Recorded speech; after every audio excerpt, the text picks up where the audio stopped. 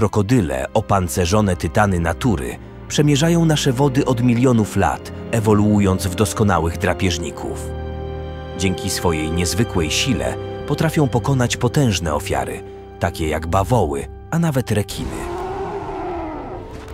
Niestety ich potężne szczęki były również przyczyną ludzkich tragedii.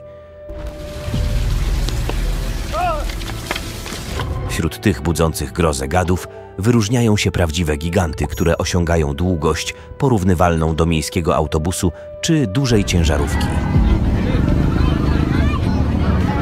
Niektóre z tych ogromnych krokodyli są bezpiecznie przetrzymywane w niewoli, inne wciąż swobodnie przemierzają dzikie tereny. To niekwestionowani władcy dzikiej natury. Dołącz do nas, by zanurzyć się w fascynujący świat największych krokodyli, które naprawdę istnieją. Napisz komentarz krokodyl i koniecznie zostaw łapkę w górę, a przypnę ci serduszko.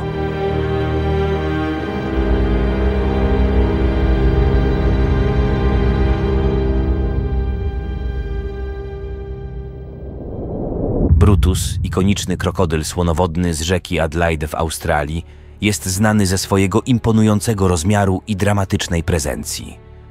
Mierząc około 5 metrów długości i pozbawiony przedniej nogi wskutek spotkania z rekinem, Brutus stał się lokalną legendą i ulubieńcem turystów odwiedzających region.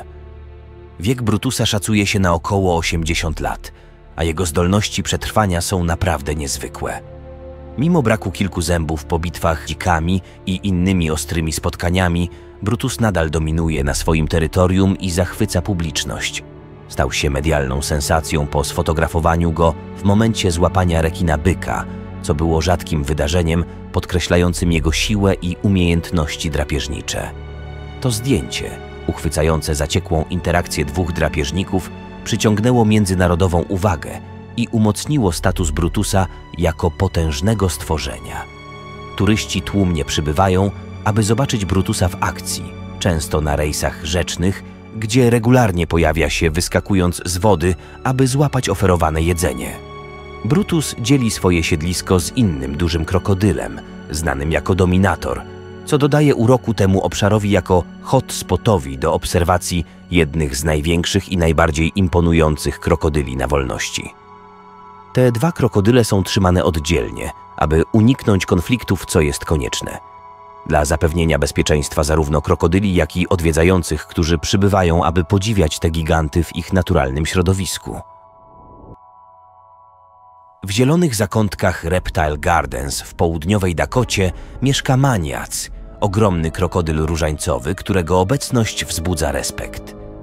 Urodzony w niewoli w 1970 roku w Australii, Maniak został specjalnie wybrany do wychowania wśród ludzi, co uczyniło go wyjątkowo przystosowanym do życia w publicznym środowisku. Wczesna interakcja z ludźmi zapewniła, że pozostał spokojny podczas transportu, co jest kluczowe biorąc pod uwagę stres, jaki może wywoływać u starszych krokodyli schwytanych na wolności. Osiągając imponującą długość 5 metrów i długie na dwa cale oraz ważąc około 620 kg, Maniac jest spektaklem natury. Jego kolosalny rozmiar jest nadal daleki od maksymalnego potencjału jego gatunku, który może osiągnąć 7 metrów długości i żyć około 100 lat. Z głową, która wydaje się prawie zbyt dużą dla jego ciała, wyłożoną rzędami ostrych zębów i otoczoną uderzającą kolorystyką oraz szorstkimi skórzanymi łuskami, maniak spełnia wszystkie oczekiwania – Dziś podróż maniaka do Reptile Gardens to historia przypadku i czasu. Po zamknięciu Wonderland Sydney, parku w Australii, w którym wcześniej przebywał, maniak potrzebował nowego domu. Reptile Gardens, poszukując nowego gigantycznego krokodyla, by zastąpił swojego poprzedniego gwiazdora, dużego krokodyla nilowego o imieniu Killer, znaleźli idealnego kandydata w maniacu przybył do ogrodu w 2004 roku, szybko stając się nie tylko eksponatem, ale i zapierającym dech w piersiach centrum uwagi, które wzbudza okrzyki zachwytu od pierwszych odwiedzających. W tętniącym życiem mieście Mombasa w rozległych terenach Mamba Village mieszka Big Daddy, kolosalny krokodyl, którego legenda jest tak wielka jak jego rozmiar. Złapany z rzeki Tana w 1986 roku po serii ataków, których zginęło pięć osób, Big Daddy przeżył ponad 100 lat, co czyni go jednym z najstarszych znanych krokodyli. Waży około 800 kg i ma ponad 5 metrów długości, ucieleśniając budzącą grozę atrakcyjność najpotężniejszych drapieżników natury. Mamba Village, w której mieszka Big Daddy, jest największą farmą krokodyli we wschodniej Afryce i stała się kluczowym centrum ochrony krokodyli oraz turystyki. Ta 17-hektarowa placówka nie tylko zapewnia schronienie dla ponad 12 tysięcy krokodyli, ale także służy jako ośrodek edukacyjny, gdzie odwiedzający mogą dowiedzieć się o cyklu życia i zachowaniu tych pradawnych stworzeń. Codziennym punktem programu na farmie jest pokaz karmienia, spektakularne widowisko, podczas którego krokodyle, takie jak Big Daddy, wyskakują z wody, aby złapać swoje posiłki, ukazując swoją niesamowitą siłę i zręczność. Mimo swojej budzącej grozę reputacji, historia Big Daddy'ego z wiekiem nabrała spokojniejszego tonu. Kilka lat temu dołączyły do niego dwie samice krokodyli, Sasha i Salma, które stały się jego stałymi towarzyszkami, dzieląc jego wybieg, a nawet posiłki, co jest dość niezwykłe, biorąc pod uwagę jego wcześniejszy samotny i agresywny charakter. Elvis. Elvis to imię, które przyciąga uwagę, a ten krokodyl słonowodny z pewnością na to zasługuje. Mieszkający w australijskim parku gadów w Nowej Południowej Walii, Elvis jest jednym z największych i najbardziej fascynujących krokodyli w niewoli. Mierzy ponad 5 metrów długości i waży około 500 kg. Elvis zasłużył na tytuł króla krokodyli. Jego historia zaczyna się w dzikich wodach portu w Darwin, gdzie był znany z kradzieży sieci rybackich i powodowania zamieszania. W 2007 roku został przeniesiony do australijskiego parku gadów, aby zapewnić bezpieczeństwo zarówno sobie, jak i publiczności. Od tego czasu stał się jedną z głównych atrakcji parku, przyciągając tłumy chętne zobaczyć jego ogromne rozmiary i siłę. Elvis jest doskonałym przykładem niezwykłej adaptacji i siły krokodyli słonowodnych. Jego ugryzienie to koszmar. Z siłą nacisku ponad 1670 kg na kal kwadratowy, jego szczęki miażdżą kości jak gałązki. W parku Elvis cieszy się dietą złożoną z kurczaka, wołowiny i ryb, co utrzymuje go w zdrowiu i zadowoleniu. Co czyni Elvisa jeszcze bardziej interesującym, to jego waleczna osobowość. Znany ze swojego temperamentu, raz ukradł kosiarkę od pracownika parku, który zbytnio zbliżył się do jego wybiegu. Elvis niedawno obchodził swoje 58 urodziny 2 stycznia w australijskim Parku Gadów, a obchody były widowiskiem. Z tej okazji opiekunowie podarowali mu ćwiartkę krowy. Elvis wystrzelił z wody, chwycił ogromną tuszę i wykonał swoje słynne obrotowe uderzenie, aby zdobyć swoją nagrodę. Goście byli w podziwie nad surową siłą i zręcznością tego gada. Gome był wyjątkowym krokodylem. Ten gigantyczny krokodyl różańcowy, urodzony w 1927 roku i pochodzący z dzikich terenów Papui Nowej Gwinei, wyróżniał się nie tylko ogromnymi rozmiarami, ale i niezwykłą historią. Mierząc 5 metrów i 35 centymetrów długości oraz ważąc około 860 kg, Gom był prawdziwym kolosem świata gadów. Został schwytany w latach 60. przez legendarnego George'a Craiga. Podróż Goma jest niezwykła.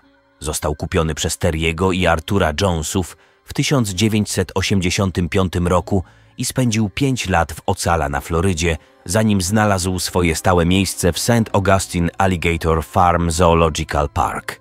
Przez 8 lat zachwycał odwiedzających swoimi umiejętnościami rzucania nutri i niezwykłą tolerancją dla ludzi. Wyobraź sobie, że można było zbliżyć się do tego ogromnego krokodyla na odległość jednego metra bez obawy o atak. Karmiciele używający długich szczypiec mogli bezpiecznie interakować z gomem, który był generalnie uważany za łagodnego olbrzyma. Co czyniło Goma naprawdę wyjątkowym, poza jego ogromnymi rozmiarami, była jego niespodziewanie łagodna natura. W przeciwieństwie do wielu przedstawicieli swojego gatunku, Gome pozwalał swoim opiekunom na swobodniejszą interakcję, co przyciągało uwagę zwiedzających. Teraz porozmawiajmy o jego imponującej sile zgryzu. Potężne szczęki Goma mogły wywierać nacisk ponad 1670 kg na centymetr kwadratowy. Dla porównania to ponad trzykrotnie więcej niż siła zgryzu lwa. Z 66 ostrymi jak brzytwa zębami, zaprojektowanymi do chwytania i rozrywania, Gome był drapieżnikiem, którego nie należało lekceważyć. Gome cieszył się starannie dobraną dietą składającą się z kurczaka, wołowiny i ryb w późniejszych latach. Po wielu latach zachwycania odwiedzających, Gome zmarł 6 marca 1997 roku z powodu choroby serca. W chwili śmierci był jednym z największych i najbardziej łagodnych krokodyli w niewoli. Jego dziedzictwo żyje w St. Augustine Alligator Farm, gdzie hołd w pobliżu jego dawnej zagrody zapewnia, że historia Goma nadal inspiruje podziw i szacunek. Poznaj AKO, tytana Australia Zoo, często nazywanego strażnikiem bramy.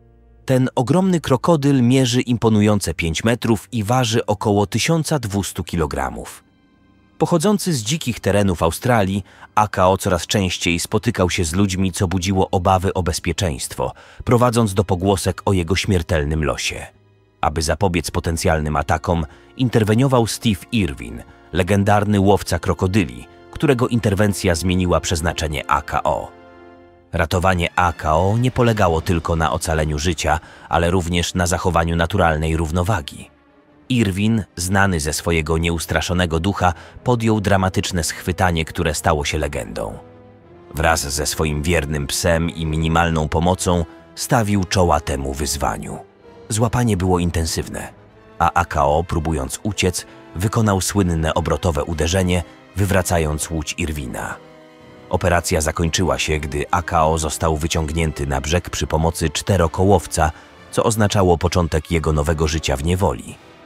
Teraz, mieszkając w przestronnym wybiegu w Australia Zoo, AKO prowadzi królewskie życie, delektując się dietą godną króla i dzieląc swoje terytorium z partnerką Cassie. Jego dom nie jest tylko siedliskiem, to miejsce pełne osobistej historii rodziny Irwinów. To tutaj Steve Irwin oświadczył się swojej żonie Terry w 1991 roku, a dziś ich syn kontynuuje opiekę nad Akao. Cassius, władca Green Island w Queensland, mierzy oszałamiające 5,5 metra długości i waży kolosalne 1300 kg. Ten starożytny krokodyl słonowodny, zamieszkujący Marineland Melanesia, fascynuje zarówno odwiedzających, jak i badaczy swoim ogromnym rozmiarem i niezwykłą historią. Został schwytany w 1984 roku po terroryzowaniu łodzi na rzece Finis w terytorium północnym, a następnie przetransportowany na dystansie 3200 km do Nowego Domu. W momencie schwytania mierzył 5 metrów i 30 centymetrów, ale nadal rósł, zdobywając tytuł największego krokodyla w niewoli, uznany przez Księgę Rekordów Guinnessa w 2011 roku. Jego wiek szacuje się na około 120 lat, co czyni go jednym z najstarszych znanych krokodyli. Pomimo swojej budzącej grozę reputacji, Cassius w niewoli wykazał zaskakującą łagodność. W 1993 roku młody krokodyl o imieniu Zena przypadkiem trafił do jego wybiegu. Zamiast zrobić z niej posiłek, Cassius przygarnął młodę, dzieląc się jedzeniem i pozwalając jej jeździć na swojej głowie. To niespodziewane ojcowskie zachowanie zachwyciło jego opiekunów i odwiedzających. Życie w Marineland Melanesia dla Cassiusa obejmuje codzienne karmienia, które ukazują jego naturalne instynkty łowieckie. Śledzi ofiarę pod wodą, używając sensorów na pysku, a następnie z oszałamiającą prędkością i precyzją przystępuje do ataku. Ten słonowodny gigant, zamieszkujący wody terytorium północnego w Australii, mierzy ponad 6 metrów długości i waży ponad 900 kg. Dominatora najczęściej można spotkać w rzece Adelaide, gdzie zyskał sławę nie tylko ze względu na swoje rozmiary, ale także niesamowitą siłę i obecność. Dzieli swoje terytorium z innym gigantem, Brutusem, tworząc dynamiczny duet, który fascynuje zarówno miejscowych, jak i turystów. Nie łudźcie się jednak, Dominator jest królem tej rzeki. Siła jego ugryzienia jest legendarna. Krokodyle mają najsilniejszy zgryz spośród wszystkich żyjących zwierząt, a szczęki Dominatora mogą wywierać nacisk ponad 1670 kg na cal kwadratowy.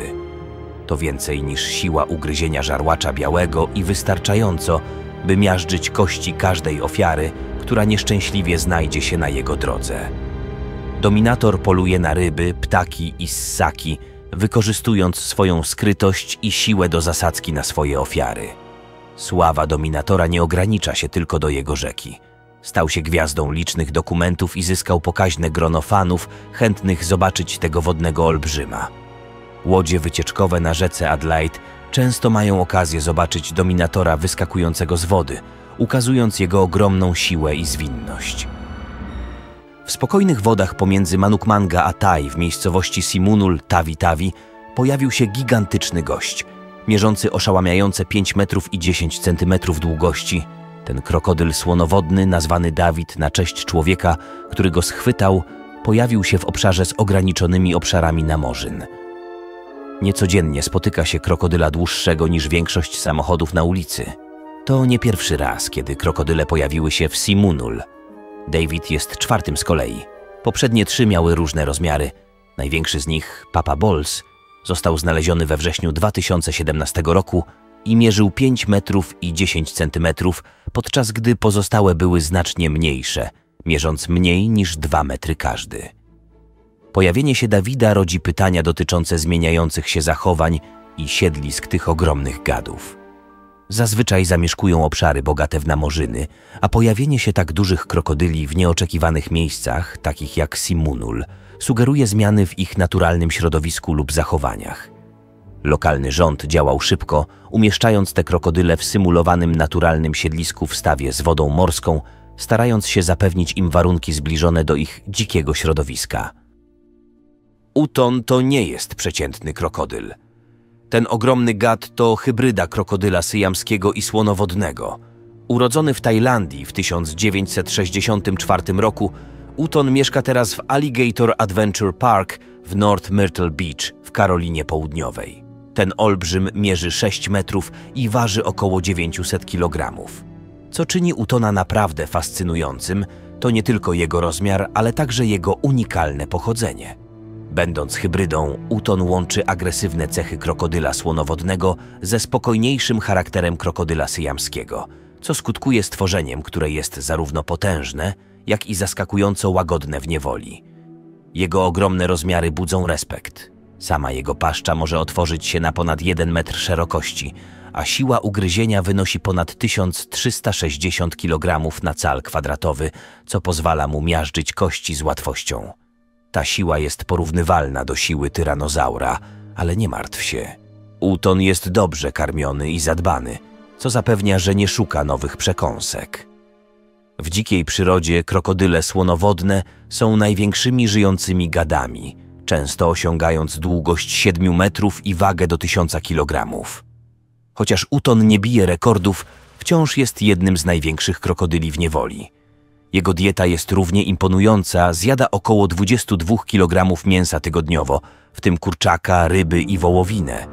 Jego opiekunowie dbają o to, aby otrzymywał zrównoważoną dietę, utrzymując jego zdrowie i witalność. Co ciekawe, krokodyle takie jak uton mogą przez wiele miesięcy obywać się bez jedzenia dzięki swojemu powolnemu metabolizmowi, ale preferują regularne posiłki, gdy są dostępne. Lolong, gigant z bagien Agusan, mierzył niesamowite 6 metrów i 17 centymetrów długości i ważył oszałamiające 1781 kg. Został schwytany w Bunawan na Filipinach w roku 2011. Lolong stał się natychmiastową sensacją, uznaną przez Księgę Rekordów Guinnessa za największego krokodyla słonowodnego w niewoli. Polowanie na Lolong rozpoczęło się po doniesieniach o atakach na ludzi i widzeniach ogromnego krokodyla w regionie. Zajęło to trzy tygodnie poszukiwań i około stu ludzi, aby ostatecznie go schwytać. Ten kolosalny krokodyl został nazwany na cześć Ernesta Lolong Kiaate, jednego z doświadczonych łowców krokodyli, który zmarł na atak serca na kilka dni przed udanym schwytaniem. Niezwykłe rozmiary Lolonga były oszałamiające, aby oddać to w perspektywie – jego długość od pyska do ogona wynosiła 6 metrów i 17 centymetrów, co zostało zmierzone najdokładniejszymi dostępnymi metodami. Naukowcy użyli stalowej taśmy mierniczej wzdłuż jego grzbietu, podążając za krzywizną jego ciała. Jego waga, 1781 kg, została potwierdzona za pomocą wagi samochodowej podczas transportu. Po schwytaniu Lolong został umieszczony w specjalnie zbudowanym zamknięciu w parku Ban Eko. Jego obecność zwróciła uwagę na delikatną równowagę między społecznościami ludzkimi a siedliskami dzikiej przyrody. Niestety czas Lolonga w niewoli był krótki. Zmarł w lutym 2013 roku z powodu komplikacji związanych z zapaleniem płuc i infekcją grzybiczą, prawdopodobnie nasilonych przez stres związany z niewolą. Pomimo jego śmierci, dziedzictwo Lolonga żyje dalej. Jego zachowane szczątki są wystawione w Narodowym Muzeum Historii Naturalnej w Manili. Buyang Senang – Słynne imię rozbrzmiewające nad rzeką Batang Lupar w Sarawak w Malezji niesie ze sobą mrożącą krew w żyłach legendę. Ten potężny krokodyl nie tylko budził grozę swoim rozmiarem, ale także opowieściami o swojej przeszłości i terrorze, jaki siał wśród lokalnych mieszkańców przez dziesięciolecia. Krokodyl, rzekomo mierzący około 6 metrów długości, był częścią lokalnego folkloru równie mocno jak realnym zagrożeniem. Opowieść Bujang Senang splata się z historią wojownika Iban o imieniu Simalungun, który rzekomo został przemieniony w tego ogromnego krokodyla w wyniku klątwy.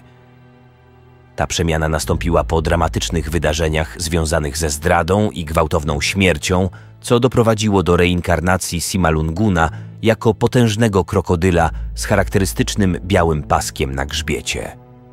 Przez ponad 50 lat od 1941 do 1992 roku Bujang Senang patrolował wody, stając się symbolem zarówno podziwu, jak i przerażenia. Życie krokodyla zakończyło się w 1992 roku, kiedy został w końcu zastrzelony przez mieszkańców i policję po serii śmiertelnych ataków przypisywanych mu. Dziś czaszka Bujang Senang jest przechowywana i eksponowana na farmie krokodyli Jong w Sarawak, służąc jako ponure przypomnienie o dziedzictwie tego stworzenia.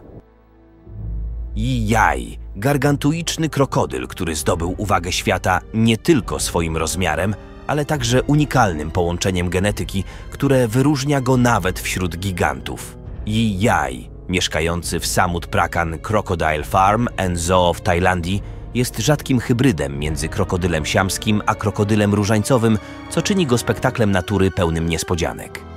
Urodzony 10 czerwca 1972 roku, Yi Jai urósł do oszałamiających 6 metrów, czyli prawie 20 stóp długości i waży około 1200 kg. Jego rozmiar i unikalna genetyka uczyniły Yi Jai jednym z najbardziej znanych krokodyli na świecie, przyciągającym zarówno odwiedzających, jak i badaczy. Samut Prakan Crocodile Farm, gdzie Jai mieszka, jest jednym z najsławniejszych krokodylich parków w Tajlandii, znanym z dużej kolekcji krokodyli oraz edukacyjnych pokazów, w tym walk krokodyli i pokazów. Gustaw, ogromny krokodyl nilowy, osiągnął niemal mityczny status w Burundi, budząc strach i podejrzenia, że zabił aż 300 osób Mimo licznych opowieści o jego ferocji i rozmiarach, dokładne szczegóły dotyczące jego długości i wagi są zróżnicowane. Niemniej jednak często mówi się, że mierzy około 6 metrów długości i waży ponad 900 kg. Gustaw jest charakterystycznie oznaczony śladami po kulach i blizną na prawej łopatce, co sugeruje spotkania z ludźmi, którzy próbowali go powstrzymać.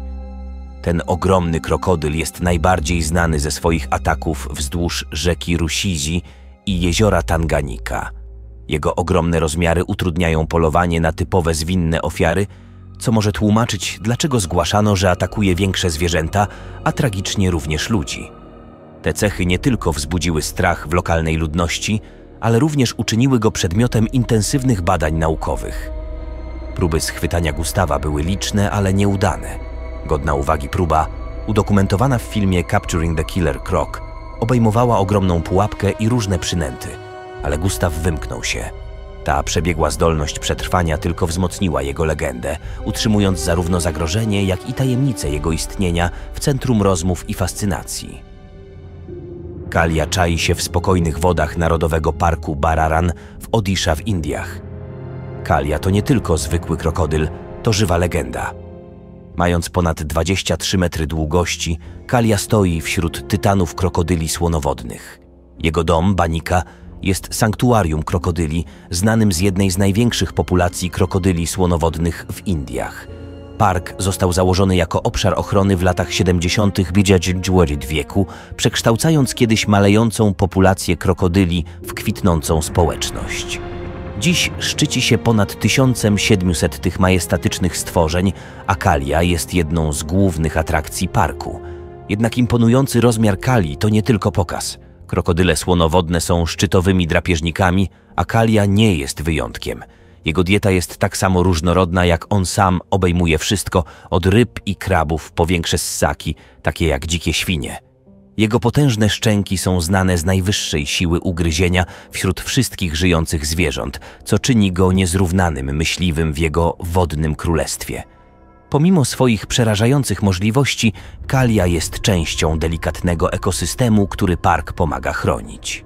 W okresie lęgowym, od maja do lipca, park jest zamknięty dla odwiedzających, aby zapewnić krokodylom możliwość rozmnażania i składania jaj bez zakłóceń. Ochrona ta obejmuje także młode, które są szczególnie wrażliwe i są pielęgnowane w dedykowanym centrum hodowlanym w parku. Jaws 3 to nazwa, która wywołuje obrazy prawdziwego wodnego terroru, podobnie jak jego filmowy imiennik. Ten ogromny krokodyl, mieszkaniec Madras Crocodile Bank w Indiach, ma historię równie dramatyczną jak jakikolwiek hollywoodzki hit. Jaws 3 nie tylko przetrwał utratę części swojego ogona w walce, ale także urósł do imponującej długości ponad 5 metrów. Jako stworzenie terytorialne, Jawstrzyszczeda nie był skłonny do pokojowego dzielenia swojego terenu.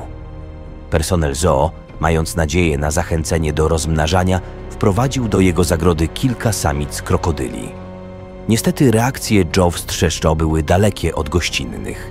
W jednym z przypadków zaatakował samicę tak gwałtownie, że personel ledwo zdążył ją uratować, unikając tragicznych konsekwencji. Jednak ten gigant ma również drugą stronę. Mimo swojej agresji wobec innych krokodyli, Jaws Cheese wykazywał zaskakujący poziom inteligencji i niezwykłą więź ze swoimi ludzkimi opiekunami. Tak dobrze znał harmonogram karmienia, że codziennie pojawiał się przy brzegu o tej samej porze, oczekując posiłku. Co więcej, jego rozpoznawanie ludzkich głosów było niesamowite. Słysząc znajomy głos w pobliżu, zbliżał się myśląc, że to czas karmienia, co pokazuje jego preferencje dla towarzystwa ludzi nad innymi krokodylami. Poznajcie Maximo, gigantycznego krokodyla różańcowego, który znalazł swój dom w St. Augustine Alligator Farm Zoological Park na Florydzie. To nie jest zwykły krokodyl – Maximo mierzy imponujące 4 metry i 65 cm długości i waży około 570 kg. Jego podróż rozpoczęła się daleko od słonecznych wybrzeży Florydy, wykluwając się z jaja nad brzegiem rzeki w Australii. Jego pochodzenie mówi o globalnej podróży, jaką odbywa wiele z tych majestatycznych stworzeń. Maximo to nie tylko statyczny eksponat – ożywia tajemniczy podwodny świat krokodyli różańcowych dla odwiedzających dzięki unikalnemu oknu do podwodnego obserwowania. Pozwala to gościom stanąć twarzą w twarz z nim w jego wodnym królestwie, obserwując z bliska grację jednego z najbardziej potężnych drapieżników natury. Krokodyle różańcowe są największymi przedstawicielami swojego gatunku, a Maximo jest doskonałym tego przykładem. W St. Augustine Alligator Farm żyje w specjalnie zaprojektowanym habitacie, który naśladuje naturalne środowisko krokodyli z rodzimą florą i fauną, aby utrzymać jego i jego towarzyszkę Sydney w zdrowiu i jak najbardziej stymulowanymi. Dla odważnych park oferuje jeszcze bardziej ekscytujące spotkanie z Maximo poprzez ziplinę Crocodile Crossing, gdzie poszukiwacze przygód mogą przelecieć nad jego zagrodą oraz zagrodami innych krokodyli. W głębinach Republiki Konga, w pobliżu miasta Pontoir-Noir, żył krokodyl nilowy, który stał się centrum licznych mistyfikacji i dzikich historii. Znany po prostu jako krokodyl Pontoir-Noir, to imponujące stworzenie mierzyło 8 metrów i 54 centymetry długości. Pomimo swojej sławy, Niewiele było potwierdzone na temat tego ogromnego krokodyla, dopóki nie został tragicznie zabity w operacji bezpieczeństwa mającej na celu ochronę lokalnej ludności przed tym agresywnym olbrzymem. Krokodyl Pontoir Noir był doskonałym przykładem gatunku krokodyla nilowego, znanego z ich wielkości. Te stworzenia zazwyczaj występują w całej Afryce, rozwijając się w rzekach, jeziorach i bagnach. Są to szczytowi drapieżnicy zajmujący szczyt swojego łańcucha pokarmowego i znani z niesamowitej siły oraz umiejętności drapieżniczych, które pozwalają im polować na zwierzęta tak duże jak bawoły, a nawet inne krokodyle. Rozmiar tego szczególnego krokodyla plasował go wśród największych swojego gatunku. Ogólnie samce krokodyli nilowych mogą osiągać długość od 15 do 18 metrów. Sweetheart rządził wodami Sweets Billabong w rzece Finis, na południowy zachód od Darwin w Australii. Jego historia to nie tylko opowieść o rozmiarze i sile, ale także fascynująca interakcja między ludźmi a dziką przyrodą. Sweetheart, mierzący imponujące 5 metrów i 85 centymetrów długości oraz ważący około 350 kg, był znany z atakowania łodzi, a nie ludzi, co odzwierciedlało intensywne instynkty terytorialne tych starożytnych gadów. Agresywne spotkania z silnikami łodzi i łódkami wędkarskimi, które prawdopodobnie brał za rywalizujące krokodyle ze względu na dźwięki silników, prowadziły do kilku napiętych i niebezpiecznych momentów. Mimo tych agresywnych działań, warto zauważyć, że Sweetheart nigdy nie skrzywdził człowieka. W 1979 roku, z powodu rosnących obaw o bezpieczeństwo publiczne, zespół z Northern Territory Parks and Wildlife Commission podjął próbę schwytania go i przeniesienia w bezpieczniejsze miejsce. Niestety, misja ta zakończyła się tragedią, gdy Sweetheart utonął po uwikłaniu się w zanurzony kłodę podczas próby przeniesienia. Historia Sweetheart nie zakończyła się jego śmiercią, przekształciła się w dziedzictwo. Jego wypchane szczątki są zachowane w Museum and Art Gallery of the Northern Territory. Chris i Chris, legendarny krokodyl znany jako król sawanny, mierzył oszałamiające 8 metrów i 63 centymetry długości i ważył około 907 kg. Ten gigantyczny krokodyl słonowodny został zastrzelony na brzegach rzeki Norman w Normanton w Queensland w lipcu 1957 roku przez Krystynę Palowski, polską imigrantkę słynącą ze swoich umiejętności strzeleckich. Jej idealny strzał tuż pod oko uczynił ją światową celebrytką i przyniósł jej przydomek jednostrzałowa. Spotkanie Krystyny z Chrisem było nie tylko doniosłym wydarzeniem, ale także punktem zwrotnym w jej życiu – Początkowo łowczyni krokodyli, Krystyna później żałowała swoich działań i skierowała swoje zainteresowania ku ochronie przyrody. Wraz z mężem założyła pierwszą eksperymentalną farmę krokodyli w Australii w miejscowości Kumba. Ich praca miała na celu ochronę populacji krokodyli poprzez kontrolowaną hodowlę i badania, co stanowiło wyraźny kontrast do panującego wówczas podejścia, które polegało na zabijaniu tych wspaniałych stworzeń na miejscu. Miasto Normanton dumnie prezentuje naturalnej wielkości pomnik Chrisa, pozwalając odwiedzającym zrozumieć ogrom tego legendarnego krokodyla –